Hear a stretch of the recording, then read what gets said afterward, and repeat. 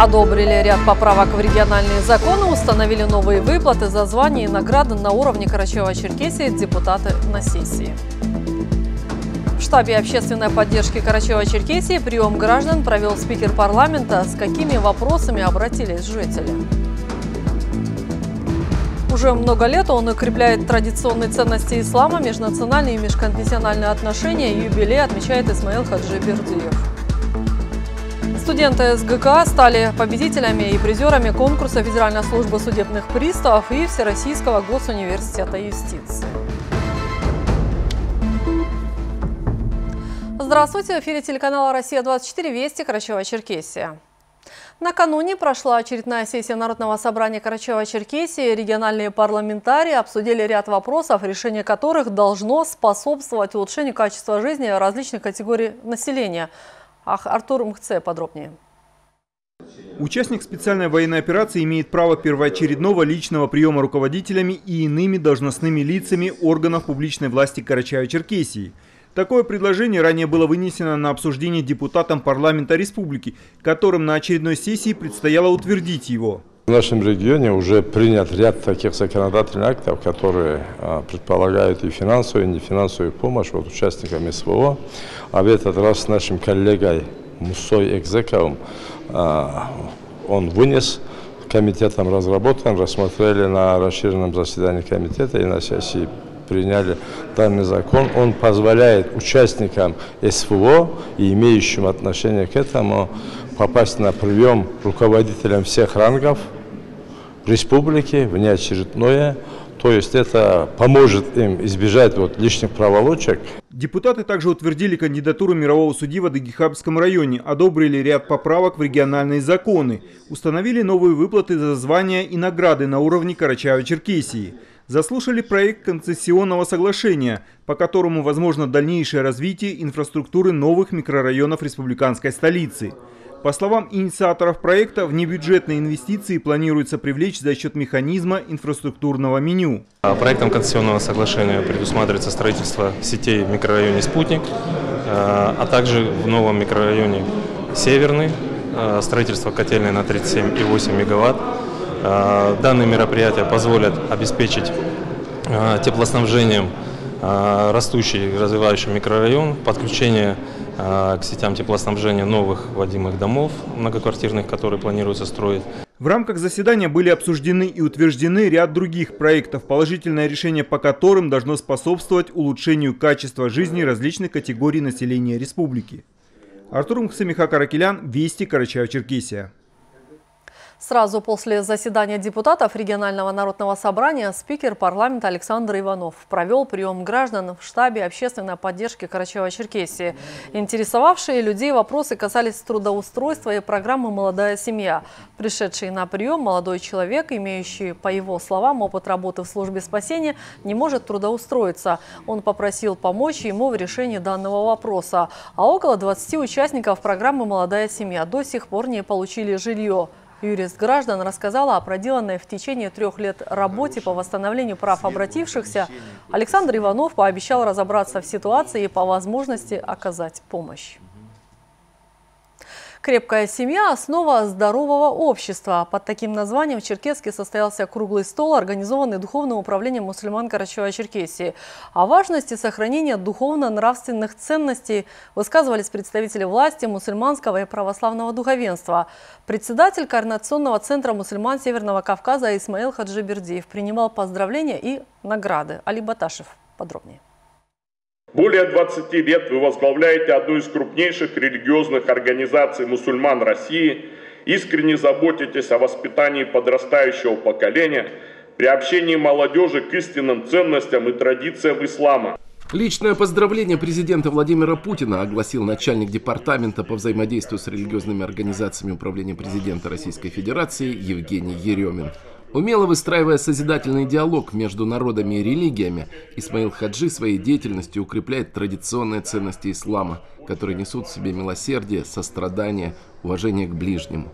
Исмаил Хаджи, как истый кавказец, очень ценит свое слово. Но его слово на президентском совете всегда самое точное, самое верное, и он очень хорошо подводит итог нашим дискуссиям.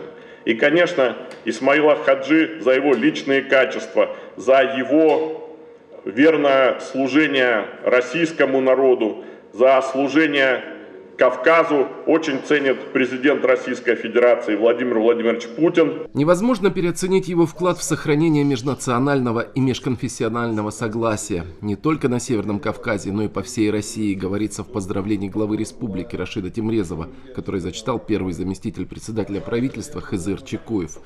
Орден Славы и Чести Русской Православной Церкви Третьей степени юбиляру вручил архиепископ Пятигорский Черкесский Феофилакт.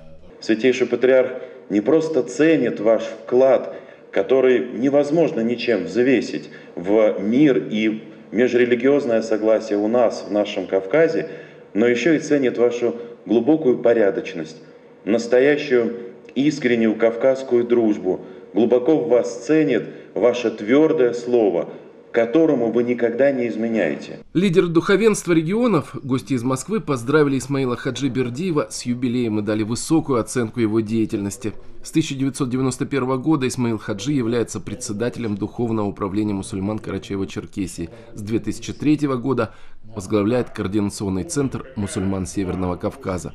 Эта хвала вся принадлежит всем нашим ребятам, имамам. То, что в координационном центре у нас есть единство и согласие, поэтому и дела наши идут вперед. Дай Аллах, чтобы в дальнейшем было так, чтобы никто не смог разделить вот это вот наше единство. О том, что семейные ценности, то, что рушатся в Европе, это действительно так – Участники выступили с докладами «Крепкая семья как ценностный ориентир», «Семейные ценности в исламе», в православии, а также обсудили значение и роль традиционных духовно-нравственных ценностей для сохранения и развития народов России. Али Баташев, Али Бастанов, Вести Карачаева-Черкесия. В результате возгорания в пятиэтажном доме жертвы и пострадавших нет. 50 жильцов, в том числе 15 детей, эвакуировали огнеборцы из горящего дома в поселке Правокубанский. Возгорание произошло в квартире на четвертом этаже пятиэтажного дома. Сотрудники МЧС не допустили распространения огня. Пожар на 40 квадратных метрах ликвидировали 17 специалистов, работало 5 единиц техники МЧС России. На данный момент специалисты выясняют обстоятельства и причины возгорания. 27 февраля 2024 года да, от диспетчера Центра обработки вызова 112 э, диспетчера пожарно-спасательной части города Карачаевска в 20 часов 32 минуты поступило сообщение о возгорании квартиры по адресу поселок Правокубанский, улица Восточная, дом 16. К месту вызова незамедлительно были направлены э, силы и средства. По прибытию первых подразделений наблюдалось открытое горение квартиры на четвертом этаже. Всего от МЧС привлекалось 5 единиц техники, 17 человек. Пожар в кратчайшие сроки был локализован э, и ликвидирован. Э, ограничено его распространение на вышележащие этажи.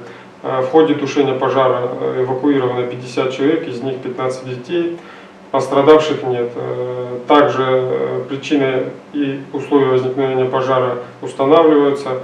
Э, Главное управление МЧС России по Карачаево-Черкесской республике напоминает, что основными причинами возникновения пожара в жилом секторе являются неосторожное обращение с огнем и неправильная эксплуатация э, электрооборудования и э, электропроводки. Необходимо соблюдать элементарные требования пожарной безопасности, не оставлять без присмотра электронагревательные приборы, а также следить за состоянием электросетей в ваших помещениях. По поручению главы Карачаева-Черкесии Рашида Тимырезова в рамках работы Единого республиканского штаба по оказанию помощи военнослужащим и членам их семей из Черкеска в зону СВО отправлена очередная партия груза. В состав груза вошли теплые вещи, обувь, предметы личной гигиены, а также квадроцикл. Кроме того, бойцам передали спецвыпуски газеты «День республики». Данный груз был сформирован, исходя из потребностей, потребностей бойцов. В него вошли предметы первой необходимости, обувь, одежда. Также у ребят ребят была потребность в приобретении квадроцикла-вездехода. Также на постоянной основе компетентные органы республиканской столицы уделяют внимание и находятся в тесном контакте с семьями военнослужащих, отметил заместитель мэра Черкеска Заур Тугов. Федеральной службой судебных приставов и Всероссийским государственным университетом юстиции был объявлен конкурс научных работ, посвященных истории образования, развития и современной деятельности Института судебных приставов России и зарубежных странах. Студенты Северокавказской государственной академии приняли в нем активное участие, став победителями и призерами в различных номинациях. Альбина Ламкова продолжит тему. Мариам Баташева пополнила список достижений в образовательном процессе. Она талантливая студентка, принимает активное участие в научно-учебной деятельности Северо-Кавказской государственной академии. В этот раз участвовала в конкурсе, организованном службой судебных приставов. Научные работы были посвящены истории образования, развития и современной деятельности Института судебных приставов России и зарубежных стран. Для Мариам такая практика считается важным элементом образовательного процесса, который способствует развитию активной гражданской позиции и коммуникативных навыков. Мы поднимали актуальные вопросы, которые интересовали нас, могут интересовать общественность, которые являются значимыми и довольно остро стоящими. Допустим, я писала о проблемах выплаты алиментов в пользу несовершеннолетних. Стараюсь активно участвовать в подобного рода мероприятиях, в конференциях, стараюсь принимать в них активное участие, пишу статьи, публикуюсь. В качестве одной из целей конкурса была поддержка и развитие интереса студенческой молодежи к проблемам принудительного исполнения судебных судебных решений в России и зарубежных странах. Он традиционно проводится службой в два этапа – региональный и всероссийский. Сейчас подвели итоги первого этапа конкурса научных работ. Церемонию награждения провел заместитель главного судебного пристава Карчаева-Черкесии, майор внутренней службы Азамат Кишмахов. Конкурс поддерживает интерес студенчества и молодежи к правовым проблемам и повышает привлекательность юридических наук в молодежной среде. Ежегодно юридический институт Северокавказской Государственной Академии активно участвует и поддерживает э, наш конкурс. Азамат Кишмахов поблагодарил всех за активное участие в конкурсе. Студентам вручили дипломы, педагогам благодарственные письма. Научные работы победителей первого этапа будут направлены в Федеральную службу судебных приставов для участия во втором этапе конкурса. Он проводится ежегодно с целью развития научного потенциала молодежи в области юриспруденции и активного вовлечения ее в нормотворческую деятельность по решению юридических проблем в области области принудительного исполнения судебных решений в Российской Федерации. К участию в конкурсе приглашаются учащиеся высших учебных заведений. Альбина Ламкова, Мухаммед Ашибуков, Вести, Корчаева, Черкесия. Активисты ЛДПР Карачаева-Черкесия отпраздновали День защитника Отечества. В Черкеске мероприятие организовали под лозунгом «Плечом к плечу с армией». Партийцы поздравили военнослужащих, представителей силовых ведомств, участников СВО, всех, кто стоит на страже рубежей Родины. Также присутствующие почтили память погибших минутой молчания. В митинге приняли участие и представители молодежи ЛДПР. Несмотря на юный возраст, ребята понимают необходимость проведения специальной военной операции и участвуют в различных волонтерских проектах, чтобы поддержать бойцов в зоне боевых действий. Хочу поздравить вас, поздравить тех, кто охраняет нас и защищает от врага на передовой. Поблагодарить их семьи за терпение и мужество, которое вы э, проявляете. Мы будем поддерживать вас всеми силами. И все, что будет от нас зависеть, мы будем делать для того, чтобы наши защитники вернулись живыми и здоровыми в процветающую Россию. Шуба от компании «Снежка» вновь в Черкеске. Местонахождение выставки прежнее, улица Горького, 8. Ярмарка будет работать до 3 марта с 9 до 20 часов. Альбина Ламкова подробнее. Мечту о покупке нового мехового изделия теперь очень просто реализовать, даже если у вас с собой не оказалось денег. Помогут в этом деле на выставке от меховой компании «Снежка». Ярмарка продаж Черкесски проводится не первый год. Адрес ее нахождения прежний. Центр развития предпринимательства по улице Горького, 8. С 9 утра до 20 часов. На выставке представили огромный выбор качественных меховых изделий. У нас сейчас действует скидка 10 тысяч рублей при покупке любой норковой шубы в рассрочку. Напомню, что рассрочку можно оформить до трех лет без первого взноса и переплаты и плюс меховой жилет в подарок подарок. Из документов вам нужен только паспорт и 20 минут свободного времени. На любую шубу скидка за наличный расчет составит 50%. Есть меховые изделия из категории распродажи, их скидка 70%. Например, это норковая шуба с английским воротником в черном цвете, шуба-трансформер с поясом, Если ее оформить рассрочку на три года с дополнительной скидкой 10 тысяч, то платежи в рассрочку составят 3740 рублей. А если вы ее возьмете за наличные, то сумма составит 72 тысячи рублей. Действительно, на ярмарке огромный выбор шуб. Вот эта шуба классическая в цвете жемчуг. Если вы ее оформите в рассрочку на три года, платеж составит 3550 рублей, а за наличный расчет 69 тысяч. На каждое изделие свой паспорт. Вся история норковой шубы в этом документе. Меховая ярмарка началась уже сегодня и продлится по 3 марта с 9 до 20 часов. Скидка рассрочки и подарки ожидает в Доме предпринимателей по улице Горького, 8. Альбина Ламкова, Олег Малхожев, Вести Карчаева, Черкесия. И знай, солдат, ты не один, с тобой вся страна. Зеленчукский райком КПРФ вот уже на протяжении нескольких лет проводит акции, направленные на сбор гуманитарной помощи для мобилизованных военнослужащих, участвующих в СВО, а также гражданского населения, проживающего на территории ее проведения. Свой первый рейс с гуманитарной помощью для жителей ДНР и ЛНР был отправлен в 2014 году. Благодаря отзывчивости земляков гуманитарные грузы бесперебойно доставляются как на линию огня, огня, так и в тыл. Фатима Даурова о неравнодушности и сплоченности жителей Карачаева-Черкесии. Репортаж смотрите далее, а наш выпуск завершен.